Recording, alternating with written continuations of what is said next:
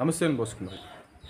పవన్ కళ్యాణ్ గారు మేధావో లేకపోతే ఆయన అంచనాలు సక్సెస్ అవుతాయో ఇవన్నీ పక్కన పెట్టేస్తే పవన్ కళ్యాణ్ గారు కానీ లేకపోతే ప్రజారాజ్యం టైంలో చిరంజీవి గారు కానీ ఎవరెవరి వల్ల బాధపడ్డారో ఎవరెవరు ఎలాంటి వారో ఖచ్చితంగా తెలుసు.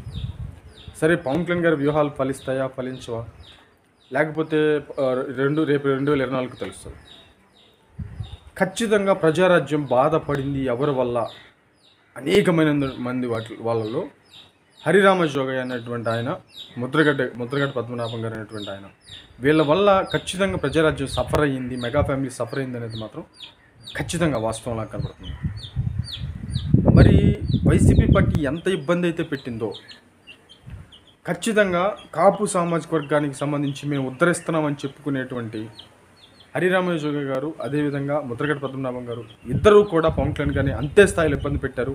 అంతకంటే ఎక్కువ ఒక రకంగా చెప్పాలంటే వాళ్ళ గురించి తెలుసు కానీ చెప్పలేడు. వైసీపీ పార్టీ పెట్టినటువంటి ఇబ్బందే వీళ్ళు కూడా సేమ్ పెట్టారు. దానికి నిదర్శనం తెలుసు.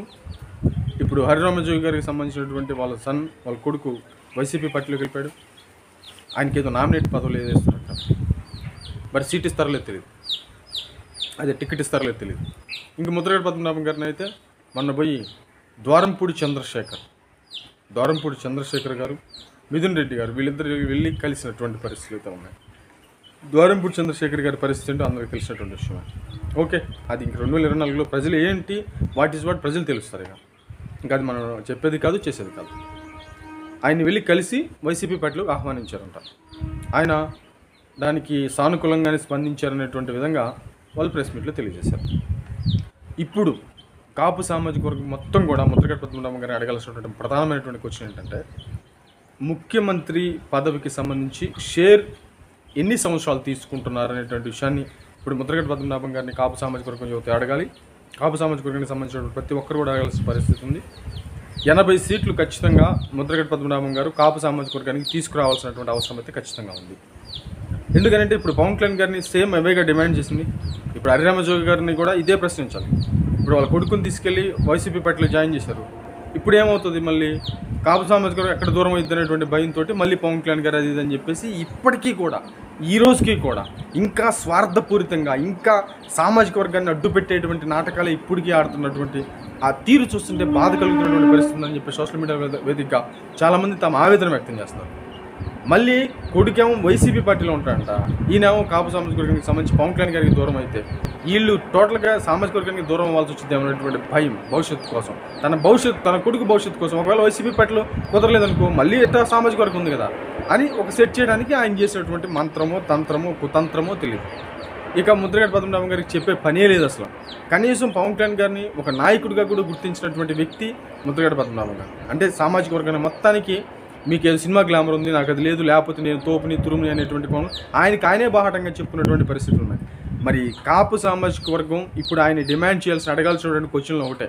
ఇప్పటివరకు ముద్రగడ పద్మనాభం గారు పవన్ కళ్యాణ్ గారిని డిమాండ్ చేశారు. ఇప్పుడు కాపు సామాజిక వర్గం మొత్తం ముద్రగడ పద్మనాభం గారిని డిమాండ్ చేయాలి. ఎనభై సీట్లు దా ముఖ్యమంత్రి పదవి షేర్ ఎన్ని సంవత్సరాలు తీసుకొస్తావు చెప్పు.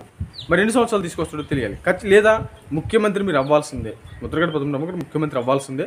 వైసీపీ పార్టీ నుంచి పవర్ షేర్ తీసుకురావాల్సిందే. ఇది డిమాండ్ చేస్తారో లేదో చూడాలి. సోషల్ మీడియా వేదిక ఇప్పటికే చాలామంది డిమాండ్ చేస్తున్నటువంటి పరిస్థితులు అయితే ఉన్నాయి. సరే మిగతా వాళ్ళు ఇబ్బంది పెట్టారంటే పవన్ కళ్యాణ్ గారిని అది వేరే సంగతి.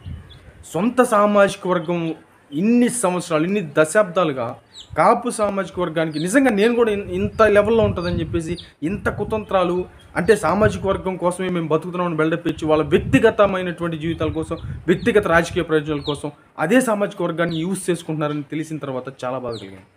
సరే రాజకీయ నాయకులు అంటే ఓకే వాళ్ళు ఆల్రెడీ చేసుకుంటున్న విషయం తెలుసు. కాపు సామాజిక వర్గాన్ని తీసుకెళ్ళి ఏ పార్టీకి సంబంధించి ఆ పార్టీకి తాకట్టు పెట్టాలని చూస్తున్నారు అది మనకు మనకు తెలిసిన విషయం. కానీ కాపు పెద్దలని చెప్పుకునేటువంటి వాళ్ళు కూడా ఈరోజు ఆ పార్టీని అంటే ఆ సామాజిక వర్గాన్ని ఒక రకంగా చెప్పాలంటే అవమానించినట్టే లెక్క. ఖచ్చితంగా అవమానించినట్టే. ఇంకెట్టయితే రాజ్యాధికారం ఏమొస్తుంది?